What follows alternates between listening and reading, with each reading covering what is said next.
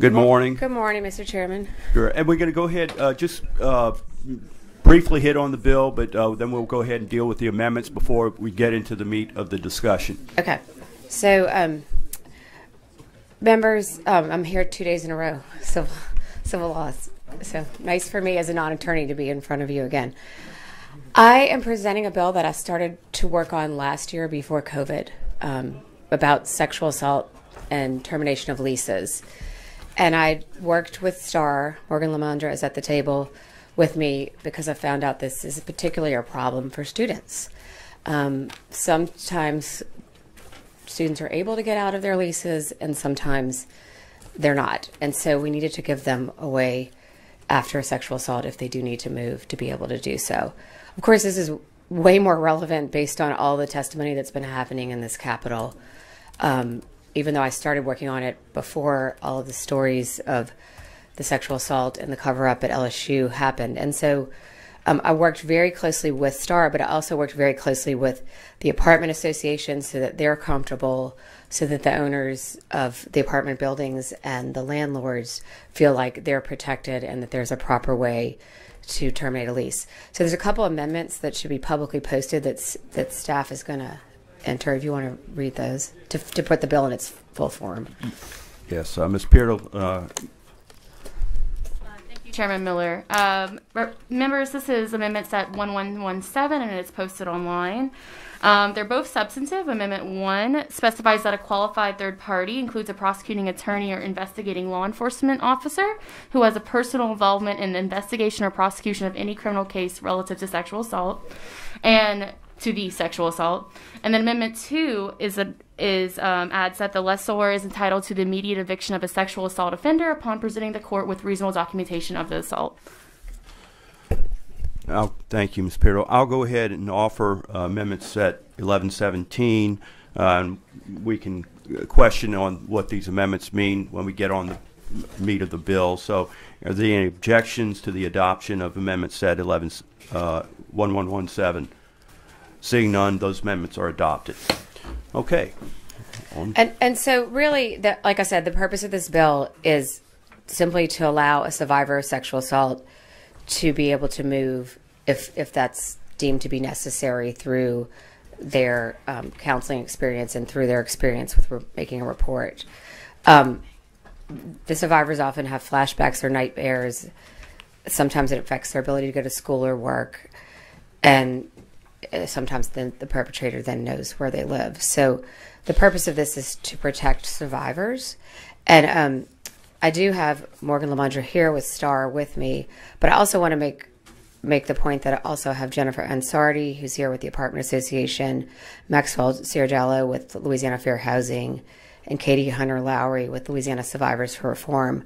But most importantly, um, I have about seven LSU students here who have been following this bill, and and I, I think more importantly than hearing from me from me is hearing from them because this does affect students for the most part. This is a situation that is more common in the student population, and um, so I'm happy to answer questions. Um, I know you all know um, Miss Lamandre from Star as well. Um, I, w- I would like to give the students an opportunity to, to testify because I know some of them have to go back to class. So, um, whatever the chairman prefers, as far as you want me to answer questions first, or uh, um, right now we don't have any questions, but uh, just briefly describe how, what what does the bill do? How has it changed the law as it stands now? I'm going to let Morgan speak to that a little bit. Sure. Good, good morning or good afternoon. I'm not sure yet, but it's my name's Morgan Lamandre, and I'm the legal director at STAR. And essentially, what the bill does is to allow for early lease termination if someone is sexually assaulted. The sexual assault would have to occur after they executed the lease. You can't enter into an agreement, you know, prior and then sort of have cause to break your lease. Uh, for a sexual assault that happened before. We currently have a law that allows this for domestic violence, but it does not extend to those who are in non intimate relationships and are sexually assaulted. So, where we do see um, a lot of requests for these. And I would say, for the most part, landlords do work with survivors, especially if they have been sexually assaulted um, in or near their apartments. But every now and then, there are times when they are not let out of leases. So this is a bill that sort of, you know, will allow them to be um, to, to have early lease termination. A survivor of sexual assault would have to give notice to the landlord at least 60 days after the sexual assault in order to do this. And then there would be, in a sense, um, they're on the hook, I guess, for at least 30 days of rent from the point that they give notice. So that, you know, that way there is some sort of time for the landlord if they need to fill fill the apartment or something along those lines. It's pretty similar to what we currently have in the domestic violence bill, which I think Maxwell can provide you all with um, the history of that. The two amendments that were made today, uh, there was a concern that the the way we had it in there was if you're um, a law enforcement officer who investigated the case if there was a report of sexual assault or the attorney that's prosecuting the case. We just had in the original bill a pros, you know, a prosecuting attorney or investigating law enforcement officer. Obviously, as attorneys, we're we have strict legal ethics. We're not going to have attorneys um, or I would hope law enforcement officers just lying and saying they're familiar with this. But this language that we added makes it clear that it can't just be any random law enforcement officer or any random uh, assistant district attorney. It has to be the person who's who investigated the case, or it has to be the attorney that's prosecuting the case in order to um, be able to sign off. And then the other amendment that was introduced was something that the apartment association had said that they would like uh, because their position was that if they receive notice that one of their tenants has maybe um, you know been flashing another tenant so that tenant then can get out of their lease well they wanted the ability to if they have the documentation that says another one of their tenants was that sexual offender who is like flashing residents, they wanted the ability to evict the sexual offender. It would have to be the person who was on the documentation of that specific incident. It can't just be somebody who may happen to be a sex offender or something in the apartment. But their position was that, you know, if if they kept doing it to other residents and they're letting them out of leases, well, obviously they they need some sort of protection to be able to protect further residents. So that was something we were happy to agree to. And I would say, you know, the pandemic was kind of a blessing in disguise because we brought this bill last year, but through throughout the year, we were able to work with the apartment association. They worked with all of their stakeholders, which I think Jennifer can tell you who all was involved in this process. And this resulted in this bill, which all of us can live with. And it will help survivors. Thank you. Uh, Representative Amedee for a question. Thank you, Mr. Chair. Good morning. Good morning. It is still morning so far. Okay. Um, I probably should have put my light on uh, when we were handling the amendment. Um, since I had read the bill and the amendment ahead of time, in my mind, the bill was already amended, so I missed that Okay. moment. But, Okay. but um, I just had two questions. Um, one of them is this: since uh, it, it, it seems to me, I may be wrong, but it seems to me that the majority of sexual assault victims are female how do we answer people who are going to say that um, passing this might cause landlords to be hesitant to lease to females? So I would say that would fall. I mean, the, landlords can't discriminate Right. based on the basis of sex, right? Um, I would say I, I hear you, but I guess I don't think that would really be a concern. That um, I don't know. I mean, they can't discriminate based on the sex of the person that is leasing the landlord. I would say that um, there are So certain the, the current federal and state laws then should protect against this already. Right, right. I mean, but I, and Maxwell may be able to speak more to that question, but I guess, um, yeah, that that's that's a hard question to answer. Just so you know, I, I know people people say, oh well, I don't want to hire people or, or things because there's this I mean, we need to work to support survivors in many different ways so we can have a culture that does not tolerate or, um, you know, make it easy for sexual violence to be committed. But with that being said, yes, I don't think that landlords would be able to discriminate on the basis of sex. Right. So we already have the laws. Representative I, I can add that in my research to put this bill together, that most landlords are are very amenable to helping out this the survivors. This is really being put in place f- for them to have some ability when that there is that landlord out there who um, is worried about you know how their income is going to keep coming through. It's a business for them as well. So Exactly. I do think that most landlords are very understanding about this and work with the survivors. Right. And this law will wanted to- protect those who, who don't have that protection. Yes, and I just wanted to air that in a public hearing because, as you know, even landlords have had a tough year in 2020. Yes, and that's that is why we worked very closely with them and, and presenting this bill. Right, and some of them rely on their, their rental income as their literal income. Yes. Um, so my second question was this: the um, with the amendment mentioning the sexual assault offender, um, what about this is an action that's going to be allowed, you know, the, the landlord breaking the lease um, for a person who is, in this case, being accused but hasn't actually gone through court yet. No. So does this fall in the same category as simply complaints among tenants? Like, say, if your neighbor is constantly making noise or dumping garbage or what have you? Um, or are we getting into trouble here by dealing with people who haven't been through due process? So I think that the first thing is that this is it's only going to potentially occur if the survi- the survivor's lease the survivor is requesting for their lease to be terminated. Now, they may or may not have the name if the name is known, the documentation requires them to put the name down. What this would allow is if upon like a basically the landlord does not have to evict somebody if they're named in that documentation i would say majority of where we see things it's not um, offenders are not necessarily living in the same complex but But, but if they were living in the same apartment, then it would fall under the domestic violence laws we already have, right? not necessarily if they're not in an intimate relationship Okay, so, it's not enough to just be simply residing in the same apartment.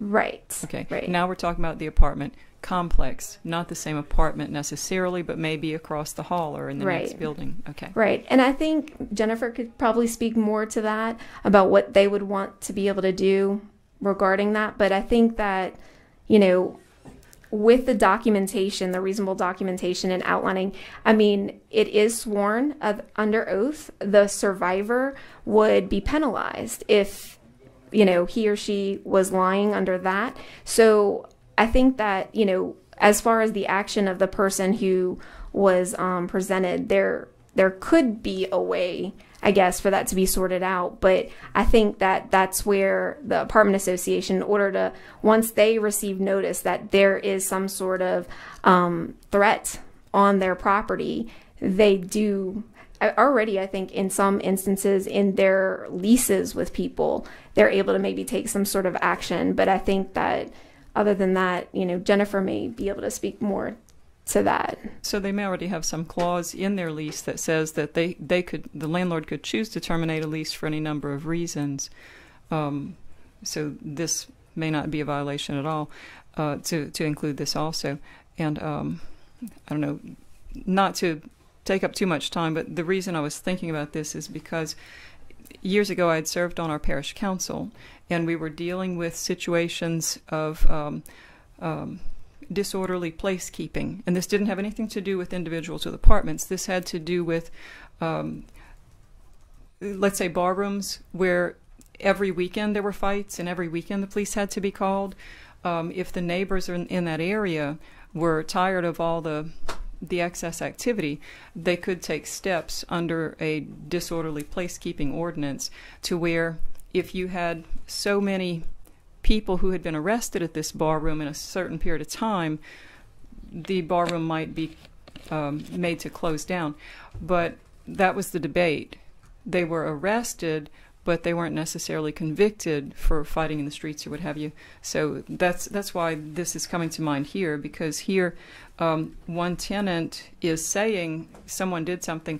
So are we getting into a gray area, allowing the landlord to take action to remove the other person from their own home when they've been accused but not convicted yet? So Right, and I will say that currently we have this process for the domestic violence bill where, you know, they may the survivor may not have even reported to police. So I think we already have a process in place that outlines that and I think once again Maxwell can speak to the current process, but I don't know that it would necessarily um, rise to that or or I think there's a way through this statute that I mean that that is potentially addressed but it is possible that somebody could be evicted and they haven't been convicted that is true yeah. So- So um, I would just like to discuss that to clear up the matter. Yeah, Because and I- those are the questions that I get. okay Thank you. Do you, do you need somebody else to come up to the table to explain that for you? She was Amity? mentioning Maxwell. If Yeah. he has any more to I don't add. know if it's Maxwell or if it's um, somebody else. I think Maxwell can talk to how it works with the DV bill which I don't know is where he is. basically in line Okay, Would you like to come? up? yeah. Okay. I'll let Maxwell come Yeah, explain that. don't y'all- I appreciate it. Thank you. Representative Freeman, if you, or, or one of, one of y'all You make some room there. No. well, I, oh, I don't yeah, know if we're finished. I don't know if we're finished questioning uh, with you, but uh, I know. Uh, let's go ahead Let- we can let Maxwell. make some say. room there.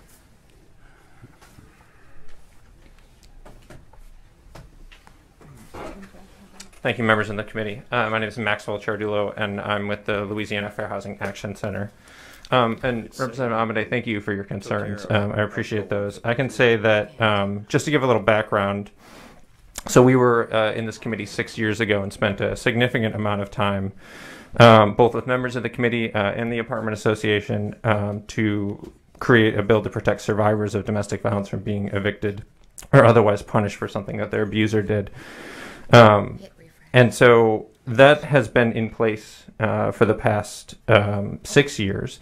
And then similarly, these protections already exist both for survivors of domestic violence and survivors of sexual assault um, in federal pro- in uh, federally subsidized properties. And so you're talking about them existing for all properties in Louisiana for the past six years, but then also for about a quarter of all rental properties in the state. Um, they've existed for years before that through the Violence Against Women Act.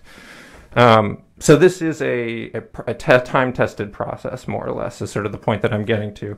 Um, so we haven't seen that it uh, dis- it discourages landlords from renting to women. Um, that's not something that domestic violence providers have have um, reported to us, and they've said that the law is working relatively well. Um, and and I think the additional protection we have in here for anyone who uh, is named in this declaration is that this is a, a much there's more scrutiny here. It's a, it's a more significant process than just a complaint or an accusation between neighbors because someone has to go and create this certified process um, with someone who is an expert, and that's a process that we created with the apartment association. Um, around the domestic violence bill, and we had, we we based it on the process that already exists in the Federal Violence Against Women Act, because it has a track record of working well. A- And, I can say, as as an advocate for uh, as a housing advocate, as someone who maybe is most likely to defend people against eviction, it's something that we're comfortable with. Okay. So you don't see any problem um, where someone could, well, I guess you could probably make a lawsuit out of anything you want, but um, someone could say, well, my landlord is evicting me because someone has accused me of something, but I haven't even gone to court yet, so I'm not convicted. Therefore, now I have no place to live and I'm not declared guilty yet. So that was that was what I was looking for clarification on. Yeah, no, I see the concern, and that's why we tried to build in this process with a um, with a very clear and sort of limited. This only applies in limited circumstances, and it only applies when a survivor is willing to take the step to go forward and identify themselves, which we know is a huge hurdle to begin with, but then also go through the certification process, and we feel like that provides a decent enough, uh, definitely a good enough protection to to go and, and make that step and, and allow someone to be evicted. Okay, so so the the process that the survivor follows by filing all the, the appropriate paperwork according to what's outlined here, that's what um, answers the the question of well, what about someone who hasn't been officially convicted yet? Yeah, we think it it would significantly discourage any sort of frivolous, you know, uh, situation. That it, yeah, it, it creates. I mean, uh, honestly, this is any process that is uh, must be initiated by a victim um, shortly after an assault. Uh, is, there's a pretty high barrier there to begin with. So, someone who's going through this, um, I think we're we're not so worried about the Right. the assaulter. Right. Okay. Thank you. Thank you for uh, taking the time to discuss all this with a non-attorney. Yeah, no, absolutely. Okay. Thank you. I'm, I'm happy to That's answer all other questions, but otherwise, Thank- I'll, I'll defer. Thank you. And I'm sorry, I was trying to multitask. You're you're with the Fair Housing. That's right, the And- Louisiana Fair Housing Action and, Center. And first name is Maxwell. Last name is Ciardullo. Chardillo. Okay, I just don't want to mispronounce that. But uh, all right, thank you. Um, I want to hear from uh, Jennifer Ansardi with the Apartments Association of Louisiana. I know we've got some others with some questions, but I, I want to hear uh, from her, and then we have some student uh, students who want to testify, and I know they have to get going. So, uh, good morning. Good morning, I Mr. guess Chairman, we're and s- or good afternoon. No, we're still morning. Still morning. My God, doesn't seem. Good morning It's dark outside. That's to you why. and to the committee members. I'm Jennifer Ansardi, representing the Apartment Association, and I have with me Tammy Esponge, who's on the side, who's the Apartment Association of Louisiana's uh, association executive. And we just wanted to come to the table to say that um, we thank Representative Freeman and Morgan for working with us. They we gave them a, a long laundry list of um, concerns, and they they worked with us on every single one. And as was expressed earlier, we did um, institute the domestic violence law. About, I guess it was six years ago, and that was 64 amendments during session. We did we did all this uh, work in advance to, to, to try to help um, put things in a very narrow, um, manageable uh, posture so that we can help the, those victors, victims that are truly in need while, while also protecting the landlords and property owners from unintended consequences, which tend to crop up in a bill as complex as it is. So I'd be happy to answer any questions. We think it's, it's, it's good. Thank you, Re- Representative Freeman. Is your bill for uh, for anyone at the table now? Yeah. Okay, you for Representative Ans- uh, for Miss Ansardi. I'm Giving me a sorry. promotion. well, I gave I'll be giving uh, Glenn a, a demotion. Uh, Representative Freeman for a question. Thank you, Mr. Chairman. Thank you for bringing this bill. I, I got a couple of issues that I just trying to get s- square in my head. And I understand the significance of the domestic, I mean, the uh, sexual assault issue as being, you know, it's at the forefront of our thought right now with the LSU issues and all that. And I get that. My question is what about folks who have home invasions and they're badly beaten and they got to have to go to the hospital and maybe people who are carjacked right outside their apartment or there's a murder outside their apartment at what point do we consider their problems and saying well should they be allowed out their lease so my question maybe not so much for you rep Yeah. but for ms ansardi are are y'all going to then say it's okay to break leases for those kind of problems too? I mean, I know because sec- the sexual assault thing is pretty clear, and, and it's a big problem, and, and I and I'm very very sympathetic to that. But I want to know about others who are victims. I mean, we talk about survivors; they're surviving crime as well, and maybe violent crime. Are y'all going to be just as um, easy, you know, workable with that too? Well, um, if there's a crime, there is already provisions in the lease that would provide for an extinguisher of the lease. And Tammy might be able to speak more knowledge about the pr- provisions of the lease. But I can see there's a fine balance that, and that's what we've tried to really work with the advocates and making sure that it's very narrow and focused because, of course, it, you know, could get out of hand. And I don't think that my members would want us to support something that you're describing a carjacking on the street, they have to get it out of the lease.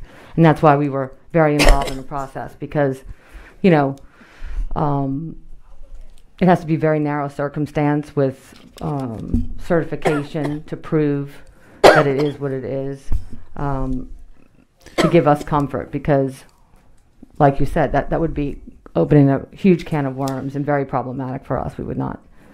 And again, that, that, and that's just really the point I'm going to make. And, and again, I, I, I'm very sympathetic to the sexual assault issue. But when you start allowing contracts to be broken and things for one group, and other groups have similar issues, I mean, it, it's different in a sense of one sexual assault, one's a battery, one may be a murder. I get it. Mm-hmm. But they're still mentally affected. So are we now opening up Pandora's box to to start doing that? I, that's just my concern. I'm not saying I'm against the bill. I'm just saying when you start start moving the bar, sometimes you can't stop it. So I, I'm just concerned about every time we move the bar in a legal sense that are we can, are we creating some down the road unintended consequences? That's my only concern. Thank you for answering Thank my you. question. And, I- and I appreciate your concerns, Representative Freeman, but I just want to state that when I brought this bill, this is pre-COVID that I started working on this. It it was with students in mind, and I know that's a big part of the conversation in here right now, because students were the ones most likely to be in a situation where they were sexually assaulted by either someone they didn't know or someone they partially knew and had troubles getting out of their lease. And the domestic violence vic- victims of sexual assault were covered from all the work that was done six years ago. So I specifically started looking at it and hearing directly from students, survivors. So I can hear, I'm not a lawyer, but I understand where you might see it opening up in other areas.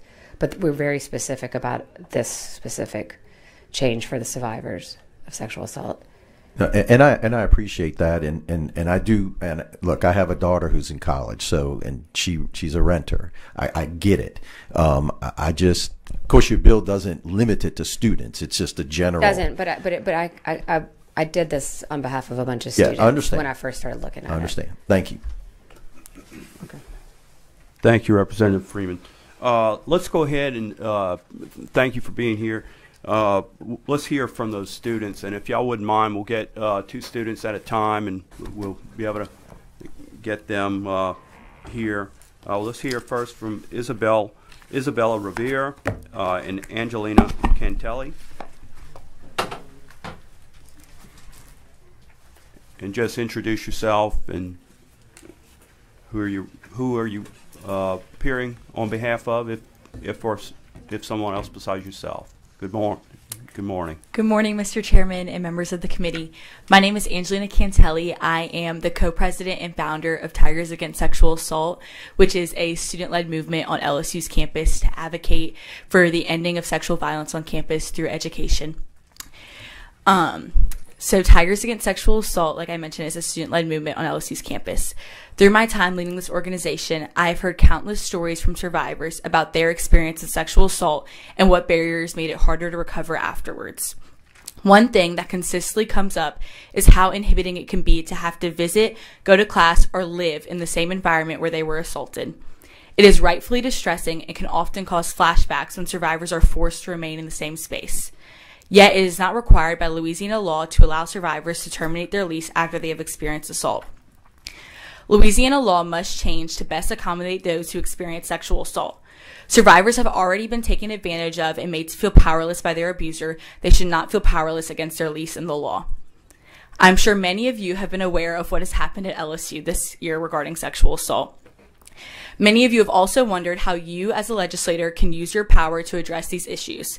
As someone on the front lines of doing this work on campus, I'm here to tell you that voting yes on this bill is a tangible change that will positively impact survivors on campus. While Title IX provides a legal foundation for students living on campus to terminate their lease due to sexual assault, 68% of LSU students live off campus and would not be covered by that law. Not to mention, 54% of Tulane students live off campus and 77% of Louisiana Tech students live off campus. This bill would not just benefit LSU students, but higher education students across the state. Being forced to live in a home that is a reminder of your trauma can deter a student's willingness to continue staying near campus or their ability to adequately, fo- adequately focus on school if they do stay. As a student myself, I'm asking you to do what is best for our safety, comfort, and access to education. I am joined here today by several of my peers who all came to show support for this bill, and many of whom are watching you from home. This bill is beneficial to survivors and provides a fair timeline and amount of documentation to ensure that this will not be abused by anyone looking to terminate a lease without cause. This bill has been informed by several experts who work with survivors and housing daily. Louisiana as a whole will benefit from the passing of this bill, improving the safety and comfort of sexual assault survivors brings relief not only to them, but to their families and loved ones. I would say that since this statute um, existed similarly for domestic violence that was passed six years ago, like mentioned, that I don't believe this is opening up a Pandora's box. Um, this is basically reiterating what was done for domestic violence and allowing it for sexual assault, and I think the parameters there are clear. So, overall, I ask you to show compassion for survivors of sexual assault and to show concern for higher education students across Louisiana. I ask you to please vote yes on this bill. Thank you. Okay. Good morning, committee members, and thank you, Chairman Miller, for giving my peers and I the opportunity to speak today. My name is Isabella Rivera, and I'm a sophomore at Louisiana State University from Baton Rouge, Louisiana. I'm here to speak in support of House Bill 375 as this bill makes strides in sexual assault advocacy in the residential field. Back in March of 2020, I was sexually assaulted on LSU's campus, and after filing a police report, the for- first and only thing I wanted to do was go home. Home is where I knew nothing could happen to me, and I was surrounded by people whose prime priority was to keep me safe. Luckily, being from Baton Rouge, home is only 15 minutes away. After talking with my parents regarding my safety and mental health, we agreed I would stay home for the rest of the semester and I would just commute to campus before everything went online weeks later. Where I was living paid, was paid in full up front, and my parents were willing to quote unquote lose that money for the sake of my safety. With that being said, that is not the case for every survivor, as their month to month rent can become a financial burden, especially if they are not living in the space. Everyone should be afforded the opportunity to reside where they feel safe, and an apartment lease should not be an inhibitor to one's safety and recovery. This bill adequately requires victims to provide the documentation to confirm their assault and also requires them to terminate their lease in a timely manner, giving the landlord time to refill the space if necessary. A survivor's priority should be their safety and mental health, not staying in a space because they have to hand in a check every month, regardless of circumstances. Now that I have returned to campus in the fall and currently live on campus, the lingering effects of my assault remain. I was assaulted outside of a campus apartment near the center of campus, a building I often have to pass on my daily walk to class or even to get to the student union.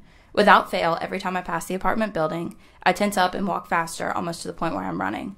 It has become a reflex due to a consistent sense of fear that overcomes me as a result of my assault. It's something hard to bear, even for a good 45 seconds out of my day, and I could never imagine the pain and trauma of having to sit, live, and sleep in a building where something so heinous as sexual assault happened to someone. Survivors deserve a path to recovery where there is not a day to day reminder of their assault. And an apartment building that was the scene of the crime can strongly inhibit that recovery by bringing in high senses of anxiety and re traumatization. I hope you see my perspective as to how House Bill 375 will be beneficial for survivors of sexual assault and aid in their process of recovery if they choose to return home. Thank you. Thank you, and thank both of y'all for uh, being here and sharing your experiences. Appreciate that. So, all right. Uh, next up, we're going to hear from, uh, I believe, Alexandra Thibodeau and Ricky Bryant.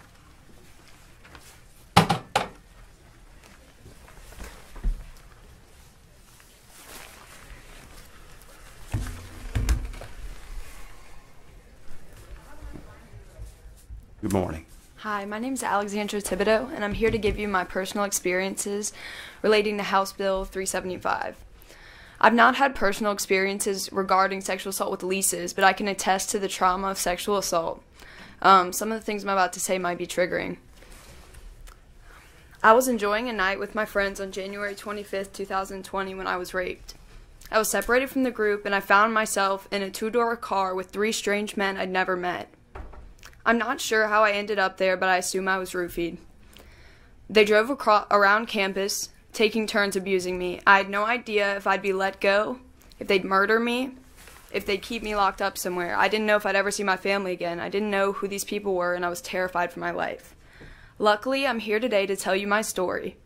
By the grace of God, when those men were done abusing me, they hurled me out of the car onto the side of the road on campus. In fact, it was in front of my statistics, in front of the building where my statistics class was. I walked to my dorm with no shoes on and I wept. For the rest of the year, I did not attend my statistics class. I couldn't go near the building, I couldn't go down the road without feeling them violate me again and without feeling that fear for my life. A year later, I avoid that building on the road as much as I possibly can, but any time I'm unfortunate enough again to pass it, I feel overwhelmingly unsafe. I can't fathom having to be in the same room, sleep in the same bed, live in the same complex, let alone the same apartment where I was raped. I can't fathom the fear that survivors must feel knowing they must carry on daily activities due to their inability to, due to their financial inability to move to a new space. The citizens of Louisiana deserve to feel safe in their homes. They should not be forced to relive those experiences every day. Please support survivors in this bill by including sexual assault as a reason to terminate leasing contracts. Thank you. Thank you. Good morning, committee members, and thank you, Chair Miller, uh, for the opportunity to speak this morning. Yes, morning. Uh, my name is Ricky Bryant, and I'm a junior mass communication major at uh, LSU and uh, but I still call my home of Southern Bossier Parish my true home. I know that we often see sexual violence as an issue that only impacts women, but men are affected by it too. I am in support of HB 7375, excuse me, but because I know how much of a struggle it can be to go places that bring back the horrors of an experience with sexual violence. In the spring of 2019, I was sexually assaulted by another student and endured a continual cycle of abuse that sent me on a downward spiral. During and after the cycle of abuse that I endured, I slipped into a reliance on alcohol and drugs to overcome my mountain of emotions I felt every day. Some days finding the motivation to dr- and drive to get out of bed was a challenge, and other days I would simply lay in bed until I could push myself to go about my day.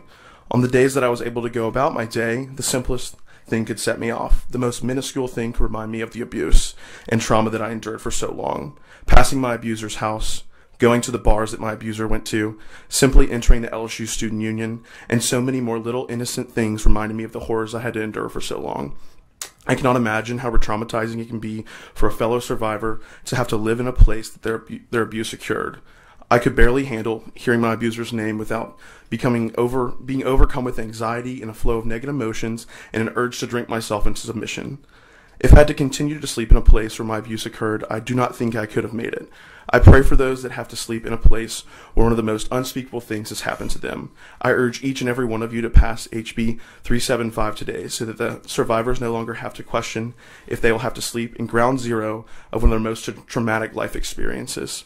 College students, mothers, and daughters should not be forced to live in a place that represents such a traumatic time in their life. This is a step towards ensuring survivors on campuses like LSU can prevent re-traumatization at the hands of a landlord. This is a change in survivors' life that can mean a world of a difference. Thank you so much.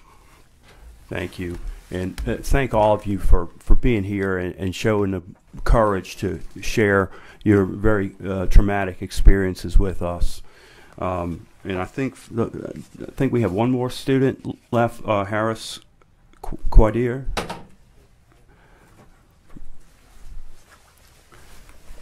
Good morning, y'all. Um, it is still morning. so, um, my name is Harris Quiddier. I'm currently an LSU Student Government Center for the College of Art and Design. Um, and I'm also, you know, with the recent uh, allegations of sexual assaults and um, scandals at LSU, I've been appointed to a committee to review these cases. But today I kind of come from a different perspective. Um, I'm from Lake Charles, Louisiana, born and raised, been here for 21 years. And so, um, my parents, both of them are actually landlords, and both of them kind of come from this background. Um, my father's a small business owner. He runs this real estate agency where they manage properties, real estate, leases, and I've worked over there in the summer. So I kind of come from that end as well. And so, um, the first thing I had when I heard this coming was like, well, let me talk to my dad. You know, what does he say? And I talked to him, and he said, well, you know, how do we stop this from being abused? You know, because a lot of people do like to get out of their leases. You know, they want to move to a nicer place, um, get out of their lease, trying to find that loophole. And I was like, you know, this has become a loophole because this is our income. We're talking about, you know, the clothes on my back are put on by the rent that comes from these renters and lessees. And so I talked to him and we talked about it and I went back to um, to the legislation. I talked to Miss Morgan, um, I talked to Miss Allison, the legislative aide, and discussed it. And you know, I looked through it, and the legislation does really hold it for survivors only, um, making sure that survivors are um, the ones who are receiving the benefit of this legislation and it's not being abused. So I believe this part has been vetted. Um, I know a representative had a question regarding discrimination against women. Just working from uh, in an office and whenever we have applicants come in, it is a business. So you know, you know, there's um, money, you know, we're losing here if we decline everyone we see. So a lot of times it's, you know, background checks, financial checks, can they afford the place?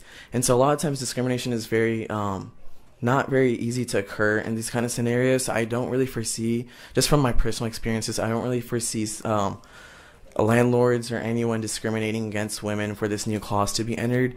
And I know we talked about, um, you know, are we opening up the Pandora's box? Are we opening up the can of worms? But I think that, you know, 90% of, uh, this is just my personal statistic, this is not actually back, but most, um, most uh, landlords, most uh, owners, they usually do work out the cases. They're not always as awful as we, um, you know, seem to see sometimes in the media. However, um, it's that 10%, it's that small case where you know, sexual assault victims are being forced and required to live over money. And I think money and greed should not be a reason for us to um, perpetuate people's mental health and um, allow for people to deteriorate over these causes. So I do encourage the committee to um, take a look at this thoroughly, and I do think it's in the right place. And I think um, the way it's going forward and the way it's written um, truly protects landlords and victims. And so um, that is the perspective I come from as a child of um, landlords. And so thank you for your time and go Tigers. thank you. All right. Um, uh, let's bring back uh, Representative Freeman and also hear from uh, Katie Hunter Low- Lowry, please.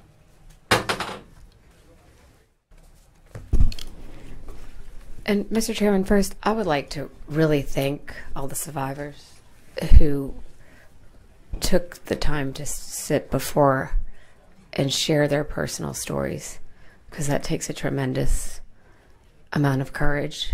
And um, I know you all know that, but I just personally felt the need that I need to make sure and that I they think, know how much I, I appreciate their courage. And, and I think I think I can speak on behalf of the committee that we also all thank them for being there and, and showing showing that courage.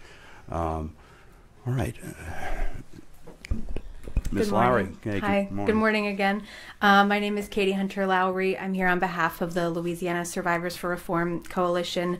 Um, you know, we're we are in agreement with all that has been said about how this bill would financially, emotionally, um, in terms of safety, support the needs of survivors. And uh, I also want to acknowledge and thank everyone who has spoken. It's a really difficult thing to do.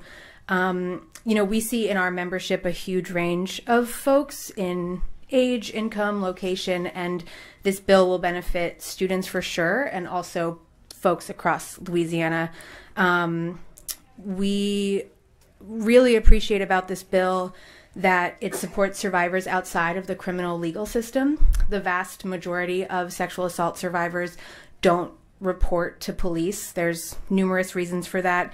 Um, and we clearly can't incarcerate our way out of sexual violence, or Louisiana would be the safest place in the world. Um, so, folks in Louisiana Survivors for Reform talk about how negative their interactions with police and the criminal legal system can be this bill gives folks an option um, that is more creative and more thoughtful as to what survivors need. So um, we we really appreciate that. Um, one other note on that is just that the in Louisiana, the Crime Victims Reparations Fund requires that you file a police report within 72 hours to receive any compensation, um, and so there are all of these limitations for survivors who don't want to go through a trial or report to police. And um, this bill really emphasizes that there are other ways to provide safety for folks. And thank you so much, Representative Freeman. Thank you. Uh, Representative Landry for a question. Hi. Thanks, uh, Rep. Freeman. I, I like this bill and plan to continue to support it. as it moves through the process. Um, but I have one question that I'm not sure if you're the best person um, to ask this, but um, what is a tenant's option if a landlord refuses to let them out? And you may have answered this when I went in the, the side room. Um, wait. Or maybe, is- or maybe Maxwell or someone can Let, answer. let me if- let Morgan answer that because you're asking what is the option. If the landlord says no, I, I like I don't believe you, or I, or I don't agree, or or doesn't know about the law, or Well, they have to um, provide documentation, and so this law is going to allow. I mean, at this point, right now, if a landlord won't let them out, there's nothing that um, can really be done except for trying to negotiate with the landlord. And this law puts that documentation into place so that they can bring that documentation to the landlord and say, "This is a law that." So, should this pass out of committee and through the process and get signed by the governor, this law will will allow for it. And Morgan Lamandre again, I think it, I understand your question. So if they simply just say, no, I'm not going to follow this law, I think at that point, um, really what this presents is if then they moved out, I mean, the lease ends by operation of this law. But once they moved out, if then the landlord would start eviction proceedings, this would essentially be set up as a defense to eviction proceedings. Um, as part of our compromise with the apartment association, this does not start a new cause of action. You can't sue the landlord, but it definitely, unfortunately for survivors, if if they you know just then abandoned, it would be more set up as a defense to eviction. So So as long as they have the paperwork required in here, if they have to go to city court or whatever, they show the same paperwork. Correct. So it it's not like they'll be able to just go and sue over them not letting mm-hmm. them out, but the way it's set up is that at least then they wouldn't be evicted, like have an eviction on their record for no longer paying rent and being there. So, does that answer your question? Well, yeah. Well, hopefully the eviction and all that would be expunged or removed. Well, it, it would set up to where they could not be officially evicted. Right, but the record, something he and I have talked about. I'll ask Maxwell about it later. Thanks. Thank you. Uh, Representative Jenkins for a question. Yeah, thank you, Mr. Chairman. Uh, let me thank you, uh, Representative, for bringing the bill. You know, I, I I believe the bill is well thought out. I think it's narrowly tailored, and uh, it certainly makes sense to me that if something has occurred and the person is living there, that this is not you know some flimsy reason to get out the lease. I, I think it's a very real situation that needs to have a, a real solution to it. So, uh, Mr. Chairman, at the appropriate time, if that has not yet been done, I would move favorable. I think it's a bill that needs to continue to work its way through this process. And I know there may be some other questions people have, but somewhere along the line, I think those questions could be answered. I think uh, from what I've seen, you all have tried to reach out to all of the stakeholders. And uh, so it's not just a a way to just break your lease and walk away. I think you have some genuine concerns that it ought to be considered by everybody. And this is the appropriate time. Uh, the board is clear. Um, and I'll just read uh, the rest of the cards that we have. Uh, present will provide information if requested. Sean Cassidy, Louisiana Foundation Against Sexual Assault. Uh, we have Michael Cahoon, uh, not wishing to speak, present and in support. The Promise of Justice Initiative. Uh, not wishing to speak, present and in support, Tamia Sponge, the Apartment Association of Louisiana. Latasha Davis, not wishing to speak, present and in support, Louisiana Coalition Against Domestic Violence. Uh, not wishing to speak and, and present and in support, Susan East Nelson, Louisiana Partnership for Children and Families. We also uh, all received an email in support from Brandy Melissa, which uh, that will be uh, uh, recorded as uh, in support, and that's available for all of you, and it will be in the records. Uh, so, with that, um, Representative Freeman, uh, you go ahead and close on your bill. Well, I, I would just like to ask to move for favorable passage. I appreciate everybody's time and um, sensitivity to the discussion today. Thank you. Thank you for being here. And uh, Representative Jenkins has moved to report House Bill 375 with amendments. Are there any objections to reporting House Bill 375 with amendments? Seeing none, House Bill 375 is reported with amendments. Thank you. Thank you.